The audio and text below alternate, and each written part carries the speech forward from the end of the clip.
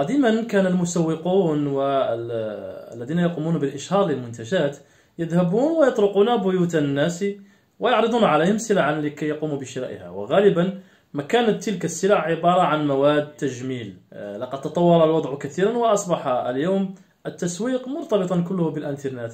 آه، لقد تطور الوضع كثيرا وأصبح اليوم التسويق مرتبطا كله بالإنترنت. وليس شرطا لكي تقوم ببيع منتجك أن تذهب لكي تطرق بيوت الناس. اليوم أغلب الناس يتوفرون على الإنترنت ويتوفرون على هواتف ذكية. لذلك إن كنت تريد أن تقوم ببيع منتجك يكفي أن تضع هذا المنتج أمامهم في شاشات هواتفهم لكي تقوم ببيع هذا المنتج. أه، ثم إنه ليس شرطا أن تقوم بشراء هذا المنتج لكي تقوم بإعادة بيعه بهامش ربح يكفي فقط أن تختار أي منتج يهتم الناس به ثم تقوم بالترويج له وستأخذ عمولة مقابل ذلك. وهذا ما يعرف بالتسويق عبر العمولة أو ما يعرف بال affiliate marketing سؤال أين أجد هذه المنتجات التي تمكنني من التسويق إليها والربح عن طريق التسويق عبر العمولة؟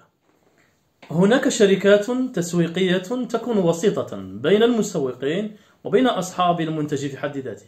وتعطي هذه الشركات روابط خاصة تمكن المسوقين من معرفة من الذي قام بشراء المنتج به وتعطي أيضا جميع المعلومات التفصيلية لكل من نقر أو عدد الزوار الذين قاموا بالنقر على تلك الروابط التي قاموا بالترويج لها. هناك شركات affiliate خاصة بالمنتجات المادية مثل أمازون ومثل حتى علي إكسبريس ومثل جيرباست وإي باي وغيرها من المواقع. وهناك شركات خاصة بالمنتجات الرقمية مثل كليك بانك والتي تعتبر أكبر شركة مختصة في هذا المجال. المنتجات الرقمية لا تحتاج إلى شحن ولا تحتاج إلى وقت لكي تصل لأنها عبارة عن مادة رقمية قد تكون كورسات أو قد تكون ملفات بي دي اف أو غيرها من الملفات الرقمية والتي لا تحتاج لوقت كبير لكي تصل بل تصل في الحين.